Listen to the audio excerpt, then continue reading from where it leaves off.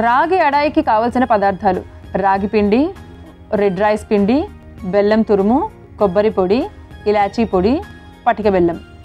రాగి అడాయి తయారు చేసుకునే విధానం. ముందుగా స్టవ్ వెలిగించి గిన్నె పెట్టుకొని నీళ్ళు పోసుకొని వేడి చేసుకోవాలి. తరువాత ఒక మిక్సింగ్ బౌల్ తీసుకొని అందులో మరిగించిన నీళ్ళు రాగి పిండి రెడ్ రైస్ పిండి వేసుకొని సరిపడా నీళ్ళు పోసుకుంటూ చపాతీ పిండిలాగా కలుపుకోవాలి. ఆ తరువాత ఒక బౌల్ కొబ్బరి తురుములో బెల్లము చిటికెడు ఇలాచీ పొడి ఒక చెంచా పటికి బెల్లం పొడి వేసి కలుపుకోవాలి. తరువాత అరిటాకు తీసుకొని ముందుగా కలుపుకున్న రాగిపిండి మిశ్రమాన్ని చిన్న చపాతీలాగా చేత్తో ఒత్తుకుని పైనుండి కొబ్బరి తురుము మిశ్రమాన్ని కూడా వేసి చక్కగా స్ప్రెడ్ చేసుకొని అరిటాకును మధ్యలోకి మడత పెట్టుకోవాలి. స్టవ్ వెలిగించి పాన్ పెట్టుకొని వేడయ్యాక మడత పెట్టుకున్న అరిటాకును పెట్టి రెండు వైపులా తిప్పుతూ ఉడికించుకోవాలి. మిశ్రమం ఉడికాక స్టవ్ ఆఫ్ చేసుకొని అరిటాకును తీసి ప్లేట్లోకి సర్వ్ చేసుకుంటే ఒబిసిటీ తగ్గించే రాగి అడాయి రెడీ.